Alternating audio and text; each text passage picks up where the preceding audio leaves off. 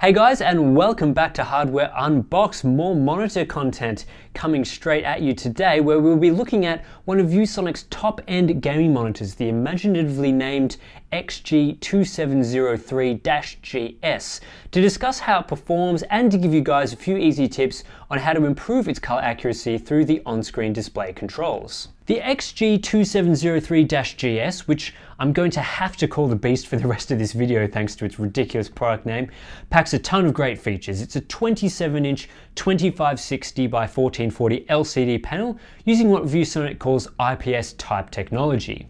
Digging a little deeper reveals this panel is actually using AU Optronics AHVA technology, which despite its name doesn't refer to vertical alignment tech like other VA displays. Instead, AHVA stands for Advanced Hyper Viewing Angle, a technology that has its foundations in IPS. So I guess it pretty much is an IPS panel, just with a confusing panel technology name. Oh, and it is a true 8-bit panel, none of this 6-bit plus dithering crap. When you're looking out for panels, you always want to make sure it's 8-bit, and the Beast here definitely provides that. So the Beast's 1440p resolution is complemented by a native 144 Hz refresh rate with the ability to overclock up to 165 Hz using the on-screen display. This process is pretty easy and while the monitor does warn you about overheating and a bunch of other stuff while overclocked, I didn't actually experience any of these issues while using the monitor at 165 Hz. If you do end up buying one, I don't see any reason why you shouldn't just run it at 165 Hz all the time, especially as you're paying more than a typical 1440p 144 Hz monitor for this additional refresh rate. Of course, it wouldn't be a top-end monitor without adaptive sync technology, in this case G-Sync for those with NVIDIA graphics cards, although there is a FreeSync model available. It also supports ultra-low motion blur, which strobes the backlight to eliminate motion blur, though you cannot use both G-Sync and ultra-low motion blur at the same time. Most gamers will want to stick with just G-Sync, Though if you're playing a fast-paced competitive game, you may benefit from enabling ULMB if you're pushing at least 120 frames per second. The Beast uses a flicker-free backlight capable of a maximum brightness of 350 nits according to ViewSonic. We're also seeing a 1000 to 1 rated contrast ratio uh, that ignores the ridiculous 120 million to 1 dynamic ratio. You should probably just disable dynamic contrast ratio straight out of the box for the best results. So 1000 to 1 rated contrast ratio, 4 millisecond gray to gray response times, 178 degree viewing angles in both directions. The viewing angles on this monitor are actually unbelievably good, probably due to that hyper viewing angle tech with essentially no color shift at off angles and only a small brightness reduction. And just on the response times, 4 milliseconds is fine for this sort of monitor, and I found the advanced response time setting produced the best blur reduction with that inverse ghosting, which is something that you will get if you use the ultra fast setting. Of course, with ultra low motion blur, you can improve that even further, but again, you know, you kind of uh, can't use that with G-Sync, which is a bit disappointing. As a quick note on refresh rate, I use a 100Hz Acer Predator X34 for most of my gaming, so I can notice an improvement to smoothness and responsiveness when jumping up to 144Hz, but the jump to 165Hz on this monitor is certainly a lot harder to notice coming from 144Hz, and unless you have a super powerful gaming desktop or enjoy low detail gaming, you won't be hitting above 144 FPS at 1440p ultra detail settings all that often.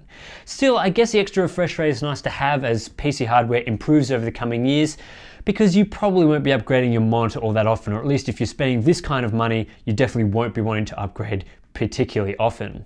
Let's talk about how the ViewSonic Beast performs in terms of color accuracy. Before I jump into some of our CalMan 5 results, here's a very accentuated photo I took of the Beast displaying a black screen in a dark room.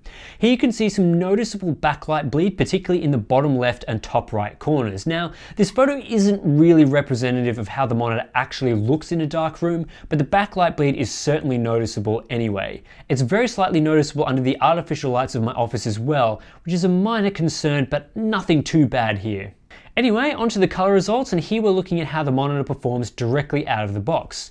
We're seeing it set to its maximum brightness by default, which produces 358 nits of brightness and a contrast ratio of 1043 to 1, pretty close to ViewSonic's original specifications.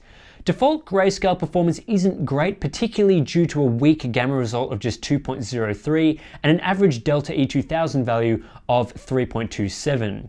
You can see from the color temperature graph that reds are underrepresented here by default as well. Saturation performance is okay. Again, we're seeing undersaturated reds, but better saturation for greens and blues. Overall, a Delta E 2000 value of 2.39 is a bit short of what I'd like to see here, but not awful for a default calibration. And in our color checker test, we can see here an average Delta E 2000 value of just under 3.0, which is okay again, but not ideal for color accurate work. Interestingly, color gamut clocks in at 110% of sRGB by default, while luminance sweeps are reasonably tight. If you want to calibrate this monitor but you don't have a dedicated calibration tool, here are the steps I'd take to improve performance, at least on my review unit. Switch the gamma from 2.2 to 2.4. This setting actually produces a gamma of 2.2, so it's a bit confusing the naming there, but I guess they might have stuffed up some of their uh, calibration profiles on this monitor. You should also switch the color temperature mode to user color, then switch the G gain to 95 and the B gain to 96 while leaving the R gain untouched. And finally, if you want to set it to around 200 nits, set the brightness to 47, which I think provides the best experience indoors. With the monitor set to these settings, contrast ratio is reduced to just 959 to 1, although average color temperature is much improved, now at an extremely solid 6585K, and the grayscale Delta 2000 value is an excellent 0.83. Gamma at nearly 2.2 has also been corrected, so very decent results across our grayscale tests here. Saturation has been significantly improved from an average Delta 2000 value of 2.39 down to 1.23, which is just shy of the 1.0 value considered very accurate. Color checker results also moved from an average Delta from around 3.0 to 1.61, again a very solid improvement. The adjustments also pulled back the sRGB gamut to 99.999%. No joke, I actually tested this monitor a couple of times and yep, 99.9991% of the sRGB gamut, so super accurate there. Now is also a great time to discuss panel uniformity, matching what we discovered earlier with backlight bleed. The panel here isn't entirely uniform, with the bottom left and top right areas deviating the most from the center level. When calibrating the beast using my i1 Display Pro, I hit a grayscale average Delta E 2000 value of 0.43, which is an excellent result, as well as a flat temperature curve with an average of 6524K. So pretty much dead accurate and suitable for accurate work. Saturation Delta E 2000 average improved to 1.01, pretty much accurate, really impressed with the results here, while the color checker result also improves to a Delta E 2000 value of 1.20. It's pretty safe to say that with proper calibration, the Beast can be a great monitor for color accurate work, while also providing the benefits of 1440p, G-Sync and 165Hz refresh rates for gamers. It's a pretty versatile monitor and you can even get decent color results just by tweaking a few things in the on-screen display.